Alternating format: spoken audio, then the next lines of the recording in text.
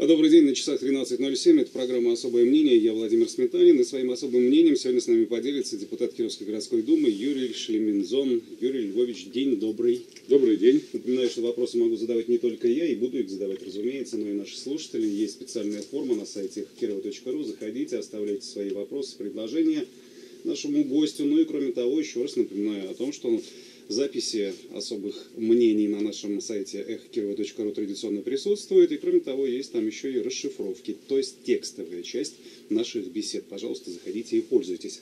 2 августа сегодня мы встречаемся с вами в День воздушно-десантных войск, между прочим. Да? Анонсировано было за несколько дней, что фонтан на театральной площади снова у нас отключают. А, Как вы этому, к этому, между прочим, относитесь? Вот, на мой взгляд, это какой-то дикий, Ну, беспощадный я ар- начну со ар- своей, ар- архаизм. С вашего позволения, своей специальной фразы о том, что, что все сказанное мной в эфире является моим оценочным мнением. А теперь к фонтану. Да, а теперь к фонтану. Фонтаны должны работать, когда они должны работать.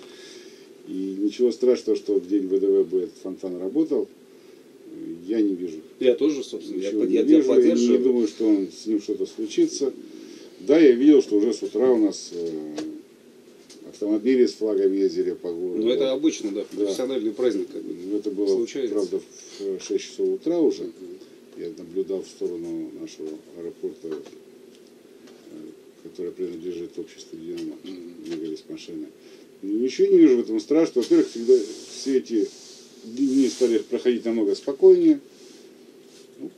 Чем руководствуется власть городская, выключая фонтан? Тем, чтобы, Ну, не, это- дай, не дай бог, чтобы ничего не повредили, или Ну, сами да, там да, не утонули, не дай бог, или не, не упали, Даже не больше, чтобы они сами не повредили. Сами не повредили. Да. Ну, я думаю, что это не общее мнение руководства города, а отдельных чиновников, которые отвечают за объект. Давайте от греха подальше. Да, Да, на всякий случай. На Даже всякий- лучше всякий закрыть, выключить, не разрешить. Просто, просто, между прочим, Юрий Львович, ведь это не просто фонтан на театральной площади, это главный фонтан Кировской области, да?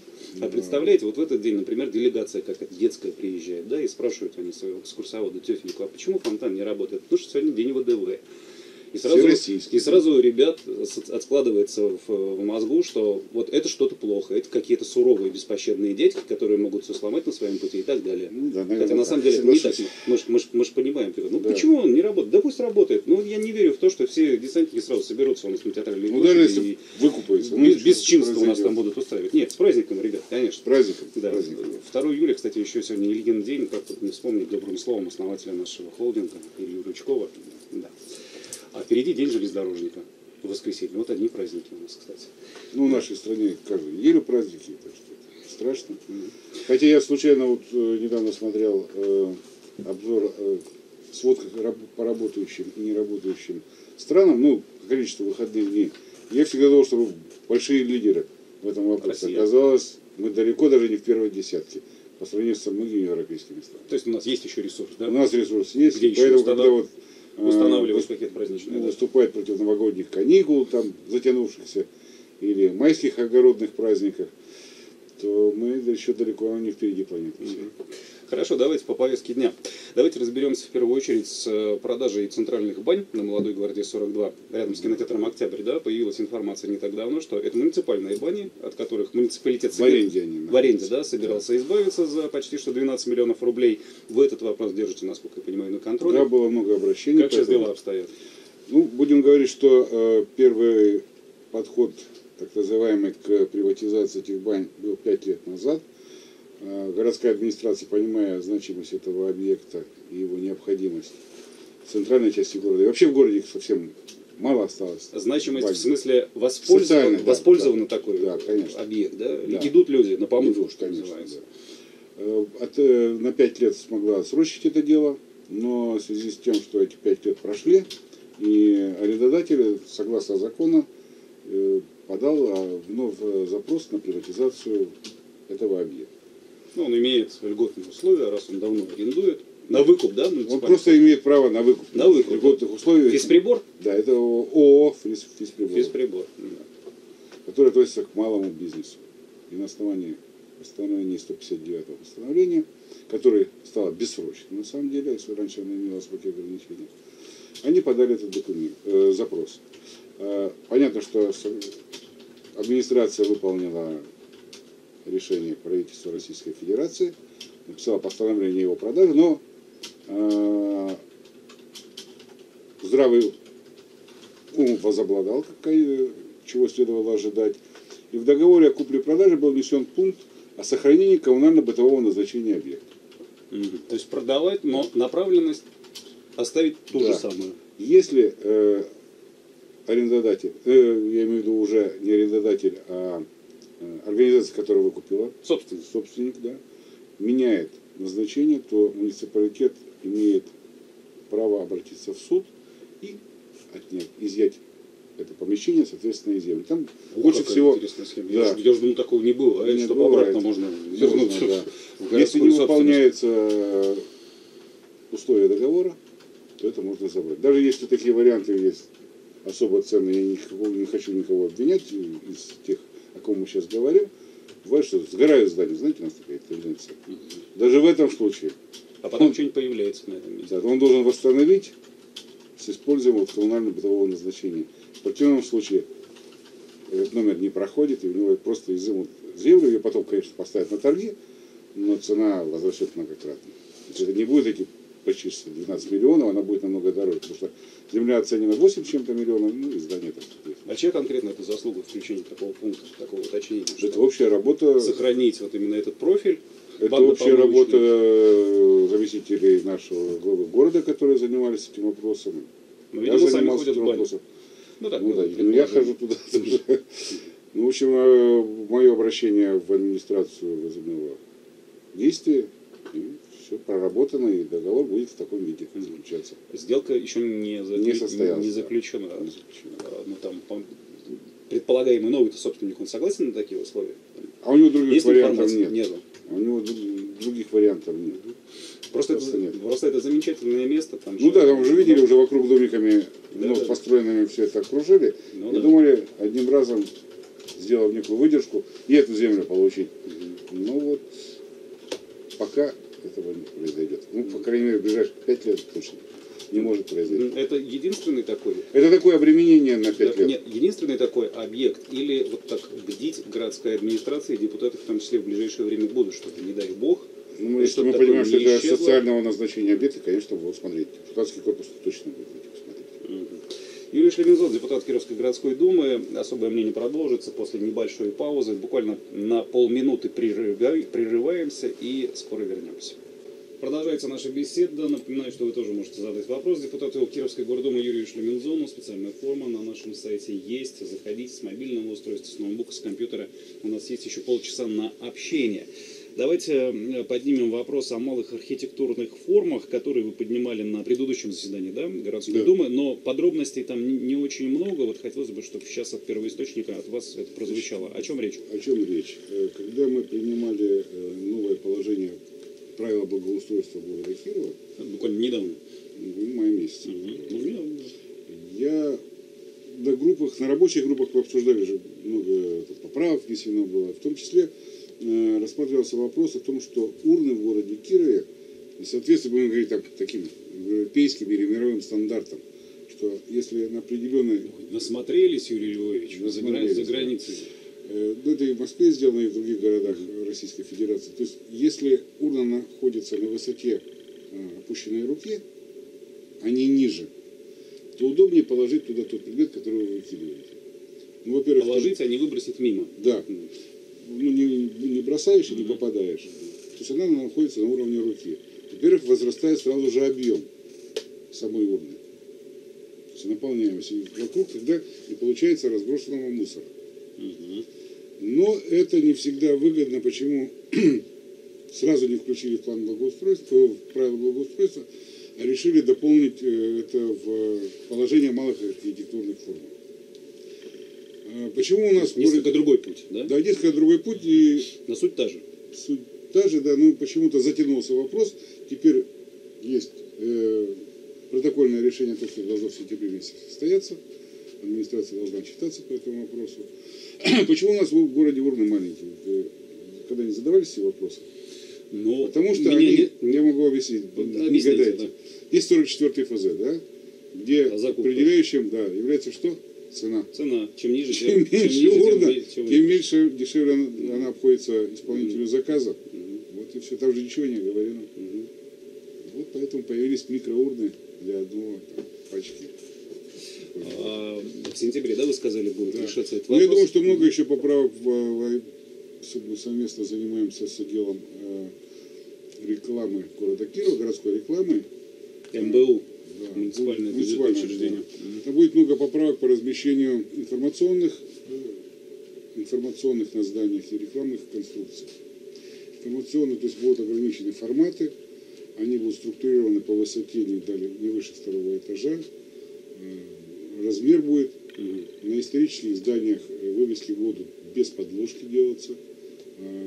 Высота букв тоже определена. Вот таких много нюансов, чтобы привести город в приличный вид.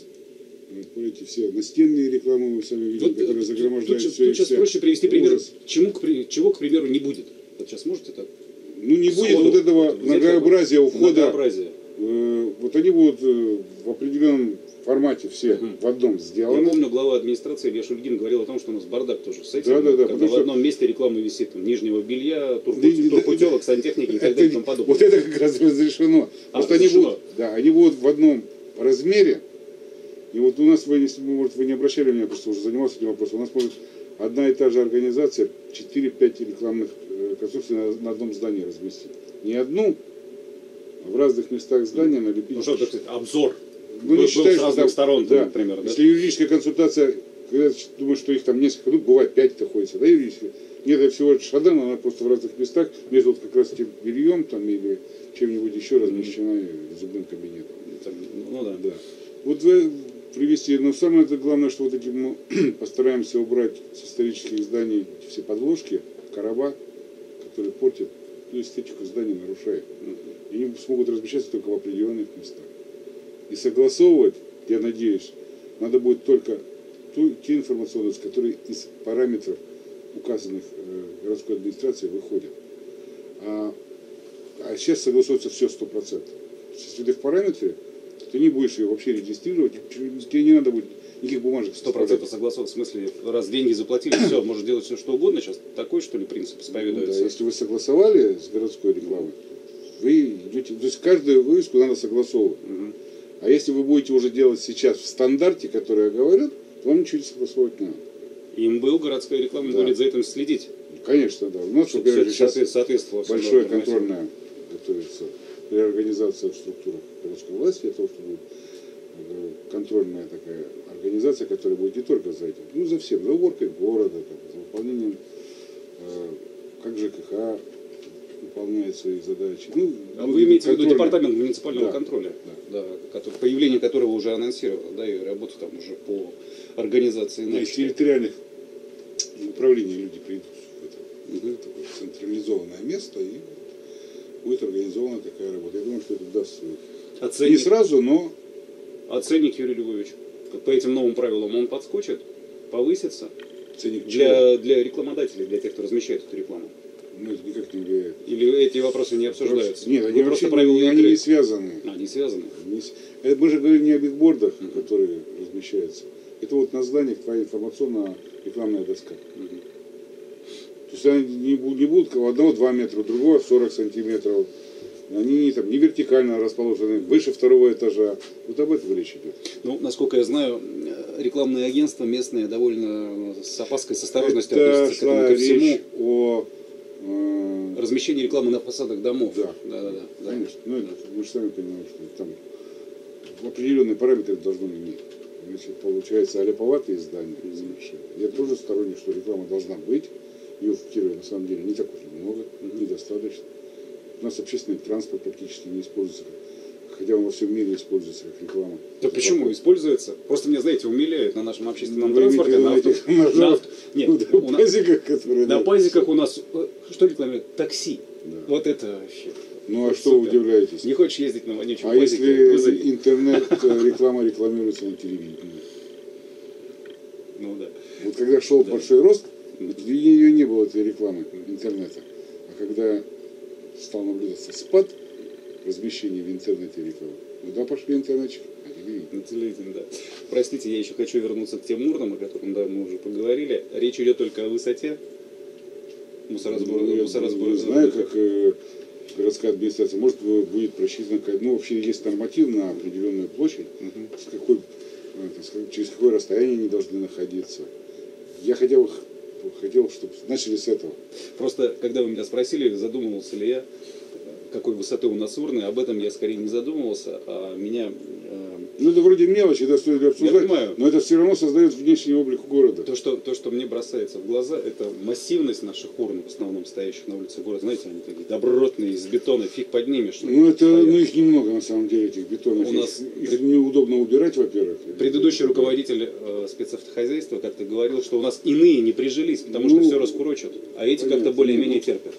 Есть же, вы сами знаете, что бывают лоббисты очень мощные, которые настраивают определенные закупки. Ну да, готовы поставить определенные урны, Да, если у определенные него друг, формы. может, был владел железобетонным заводом, вот у нас появились массово железобетонные урны. Я не хочу ничего сказать. А реальность примерно вот так. У нас урны нужно ставить, с, не знаю, Антивандальные. с антивандальной и, знаете, с этим, с функцией электрошокера. Прикоснулся к ним, тебя разрядом, ну, разрядом ударило. Многие годы мы отпиливали э, скамейки в Александровском саду. Да? Да. Ну, это была вообще глупость. Вот как бы говорили, что мы боремся с теми, кто садится с них, э, на них сверху, Мгм. ходит ногами по себе. Ну, Позе пере- орла, Да, как ну, перес- называется. перестали это делать. Э, Все прижилось, и все сидят нормально, и скамейки стоят нормально, не надо их отпиливать, есть где облокотиться. Еще один Все из- меняется да. на самом-то деле. Да. Еще об одном, об одном из итогов предыдущего заседания Гордумы хотелось бы упомянуть. Впервые за сколько там, с 2011 года, да, за 7 лет получается, сумма, сумма денежная, выделяемая городским бюджетом на депутатам на выполнение наказов избирателей, Да. была увеличена с 25 миллионов до 36, Ну, то есть, 36 если мы миллионов. То есть полтора на раза. округ получали миллион четыреста, то есть по 700 тысяч примерно. Поменьше миллиона, да, да. депутаты, да. Мгм. То подняли. Ну, потому что, во-первых, принято решение о том, что эти средства вот с 2017 года идут только на программу благоустройства. Ни на какие другие программы. Ну да, вы. Депутаты это, не используют. да. Дворы, вот это, Дворы? дворы, Скверы, Мгм. улицы. Ну, Да. в основном по дворы, конечно, конечно. Ну и там подъезды к дворам, разные условия. А, ну, Мы понимаем, что те проекты, которые создаются, стоят ну, затраты. Ну, много Если качественно много- сделать, много то это стоит, стоит, да. да. Тем более мы понимаем, что это тот же самый бюджет города, только он под специальным контролем выдается. Мгм. И для того, чтобы выполнить те программы, у нас наказывали избирателей достаточно. Много таких пачек есть. Но Ну, я помню, вы приводили несколько тысяч там Да. Это собирались. только у меня. Да. А есть еще другие. Ну, несколько да. десятков тысяч. Поэтому, так как это идет все равно для города, и депутат неволен сам их использовать на какие цели, то было принято решение увеличить этот объем, который будет именно под контролем депутата. Ну, соответственно, Что надо предположить, что раз сумма больше, раз и, собственно, Ну, масштаб будет будет больше побольше. сделать, масштаб конечно, масштаб да. будет побольше. Конечно. А эти деньги, вот, они как в общем котле, депутаты сообща решают. Или каждый Нет. сам за себя. Вот я свою сумму, Да, конечно. вот на то вот именно Да, потрачу. только да? так и как делается, происходит? да. Поясните. Ну, по- происходят конкурсы сначала в э, районах, где мы- работают депутаты. А Появляются определенные ну, грантополучатели, будем так говорить.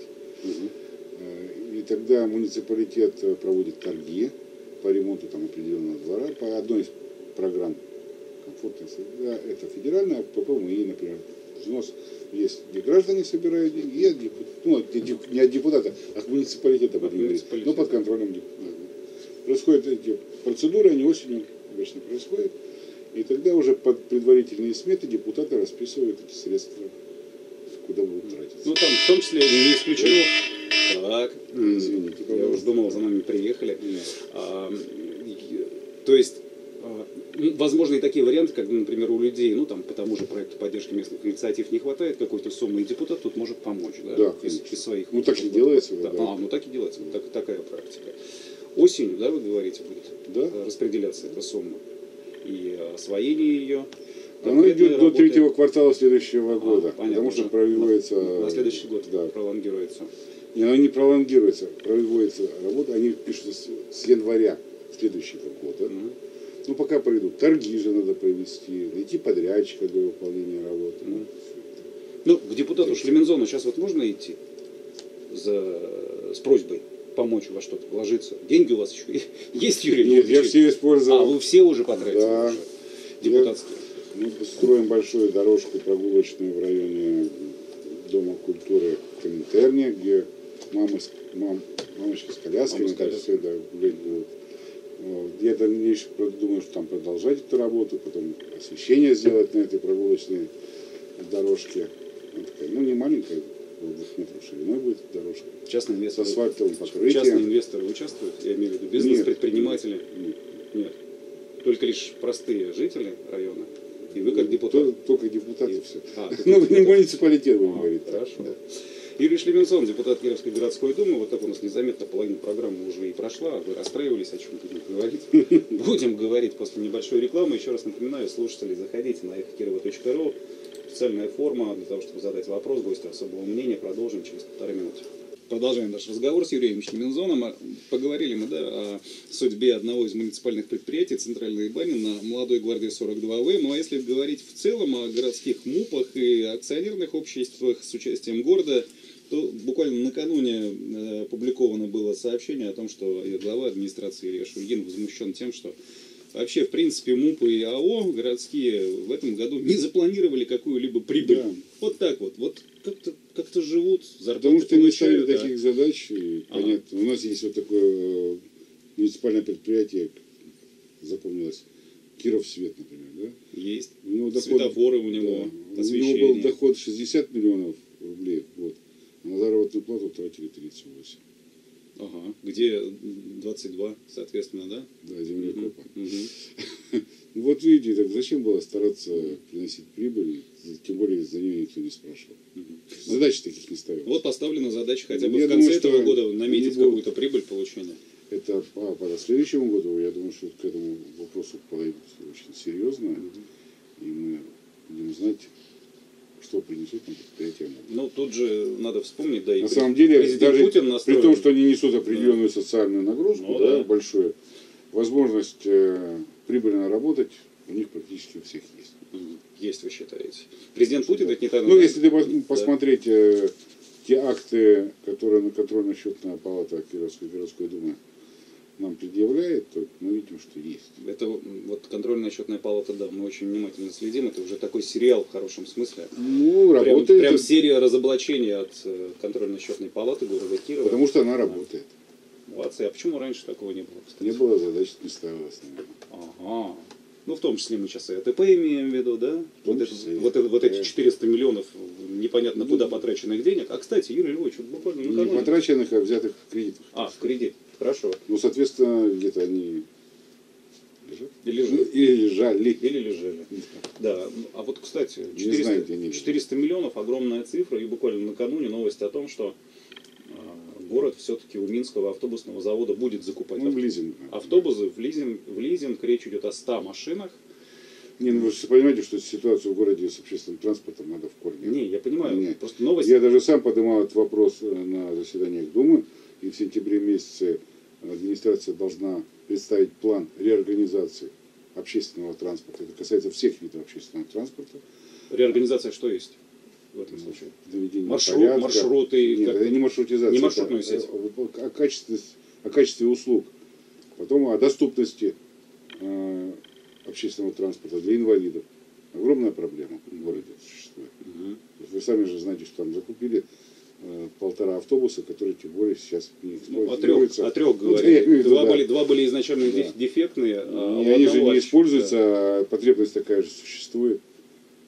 Ну, речь идет не только о автобусах, есть, э, речь идет о троллейбусах и вообще о развитии, о наведении порядка в общественном транспорте. У нас есть э, маршруты, которые заканчивают свою работу очень рано. Не до загру- э, а людям, которые не имеют, вот если взять 14 округ, там недостаточно э. 14 округ это заречная часть. Да, заречная часть мест, где можно э, там, на тренировки, на, в кружки детям ходить. Да? Им приходится ездить в центральную часть города. А транспорта уже, если ты еще уедешь, а на чем приехать? Ну и много других вопросов возникает по периодичности работы общественного транспорта, о его длительности работы.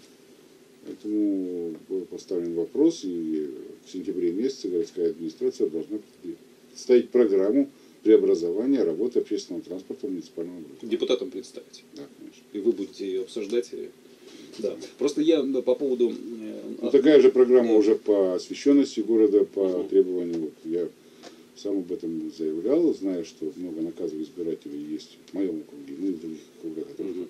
целые улицы не освещены, или фонари, которые не светят. Ну, и была представлена программа преобразования. Она продлится не, один год, по крайней мере, мы теперь знаем параметры исполнения. Хотя я думаю, что когда произойдет объединение двух предприятий, такой городских электросетей и Кировсвета, то этот процесс будет ускориться, и мы благодаря этой программе получим качественное и полное освещение нашего города. Вы уверены в этом? Или вы надеетесь? на Я практически уверен, Уверен. произойдет. Мгм. Ну, по поводу автобусов, 100 новых машин, это ведь очень существенная цифра. Вспоминая предыдущие Может быть, годы, я у не нас так там по глубоко 10, в по этой 15. теме, там, Да. по количеству автобусов, по маршрутным сетям, я в основном на качество не волнует. А качество для вас автобусного обслуживания, это что в первую очередь? Это качество, транспорта, да. то, чтобы люди могли в определенное время, а не только в пиковые, во-первых, в пиковые часы, чтобы это было не в свалку все не, не превращалось, да? чтобы в поздние часы могли люди из одной части города добраться в другую часть города, чтобы автобусы чадящие на наших улицах, загрязняющие атмосферу города, исчезли вообще. Я думаю, что электротранспорт надо развивать, троллейбусные. Наши сети вполне себя оправдают. Ой, у нас же электричку накануне обещали запустить из, да. э, в Нововятске, вернее, да? Да. Развитие именно этого вида транспорта. Потому что же во территории многих города. городах же ездит там совмещение поезда с метро или троллейбуса. Ну, да, просто переездом продумано на- логистически. логистически все, все на- маршруты. да. на электричке, да. Мгм. А Что касается центрального рынка, тоже еще одного муниципального предприятия, снова прошелся по, не- по этому объекту Илья Шульгин. Два месяца ультиматум поставил, либо что-то меняете, либо Ну, уходите, товарищ обоснованно- директор. Товарищ директор Я считаю, что обоснованно. Центральный я его посещаю тоже. ну, не вызывает никакого желания. Просто нет необх- необходимости его посещать в том виде, в котором он существует. Если бы была альтернатива, если бы этого не стал ходить. Альтернатива в виде Рынка, рынка. конечно. Нормально. Рынка. Нормального Красивого. рынка с фермерскими товарами. Рынок это же сейчас такой многофункциональный. Это вот мы считаем, что рынок, где только торговля происходит. На самом деле преобразованных рынках в других городах, это центры отдыха, будем говорить, это сам рынок. Ну, приведите Это для кафе, примера конкретный город, куда столовые. можно съездить и посмотреть, как выглядит должен Ну, нормальный цивилизованный рынок. Казань, Москва. О, я думал, да, Да, вы Казань знаете, что даже рынок в Йошкар-Оле и то вызывает Я в благоприятное последний раз в Там, городе там всегда есть свежее немороженое мясо, там есть свежая речная рыба, там есть творог, там есть яйца. Ну, там есть те продукты, которые фермеры производят. У нас же фермерских продуктов вообще нет. Ну, они вроде как декларируются, вроде сообщается, вот, Ну, и есть там где-то, есть, да. а, а, видимо, да, ну, сохраняется. там можно в этом на ярмарку съездить э, экологическую. Я да. последний раз в Чебоксарах был на рынке, ну, вот таком Ну, отличается. крупном. Отличается, отличается. Приятнее там находиться, Намного, да. действительно А приятнее. Москва очень сильно преобразовала свои рынки. Мгм. И продукты есть, и все становится. Ну, Раз уж мы заговорили о столице, о соседнем, о соседней столице, столице Республики Татарстан, Казани, вот как раз недавно в нашем эфире губернатор Илья, простите, Игорь, Игорь Васильев говорил о том, что надо р- р- в развитии нашего города нам нужно ориентироваться как раз на Казань и Москву. Мне тогда Хороший подход. да, мне тогда вспомнились слова одного из заместителей главы администрации Ильи Шульгина, который до этого в Сочи работал, да, в том числе олимпийскую стройку реализовывал. Да. Он тогда говорил, что я вообще тут готов вот Сочи сделать из Кирова. Мы на кого, Юрий Львович, должны ориентироваться? Москва, Казань, Сочи, не знаю, Урюпинск. Какой- Хороший город, где Да, вот- людям комфортно жить. Или мы ни ни на кого не должны ориентироваться? Нет, надо ориентировать, должны быть. Я думаю, что весь положительный опыт перечисленных вами городах надо бы использовать. И, для этого надо заработать деньги. Ну и понятно, что и ну, с Москвы какую-то часть денег привезти. Но я думаю, что под красить, юбилей... что? Нет, Москве почему? Ну, есть же целые федеральные программы, в которых мы недостаточно принимаем участие, особенно на уровне муниципалитета. Я думаю, что к юбилею города что-то при составлении правильных программ мы тоже получим. И Многие же города получили толчок в своем развитии, та же Казань, да? с- От какой-то круглой даты. Да, от Мгм. круглой даты. И другие города получают. Мгм. Главное, надо быть к этому готовым. Зам... Для этого должен быть хороший генеральный план города, Ага. должны быть привлечены специалисты, поэтому вот недаром же осенью у нас будет специальный форум, и вот приглашены Мгм. да, в октябре, Урбанистический. там, лучшие архитекторы, ну и вообще специалисты по урбанистике. Мгм. Ну, очень положительно это нужное дело. Очень сожалею, вот э, совсем недавно у нас было с той же рекламой, размещением рекламы связано. Э, Отличное мероприятие проходило в Герценке. Я увидел всего одного представителя муниципалитета. Это когда о брендировании говорили Да. города, да? Да. Ага. Весной, да. Весной. Да, да, Всего да. один представитель Ага. муниципалитета присутствовал на этом мероприятии. Мгм. А так общественники, ну, несколько. Кстати, раз уж вы ближе к городской администрации, но в том смысле, что депутаты туда именно приходят на заседания и работают там, вопросы обсуждают. Но Новый зам, ну вернее не новый, а вообще впервые появившийся зам по инвестициям, там что-то слышно уже по его работе? Э, Я знаю, что он должен в сентябре месяце представить свою программу по реализации. Как он собирается Города. привлекать, да? Да. И какие средства там в том И средства по привлекать? каким направлениям. Мгм. Пока ждем сентября. Да. То есть после каникул. Ну, этот вопрос такой инвестиционный, он его с кондачка не решишь. Я думаю, что прошло определенное время. Антон Викторович э, Напомните фамилию. Карпинский. Карпинский, да. Мгм. И он, я думаю, что он человек инициативный, насколько я вижу. Я думаю, что это даст свои результаты. С определенной временной пролонгацией, конечно. Мгм. Одномоментно это произойти не может. Мгм. Но я думаю, что город получит результаты от его работы.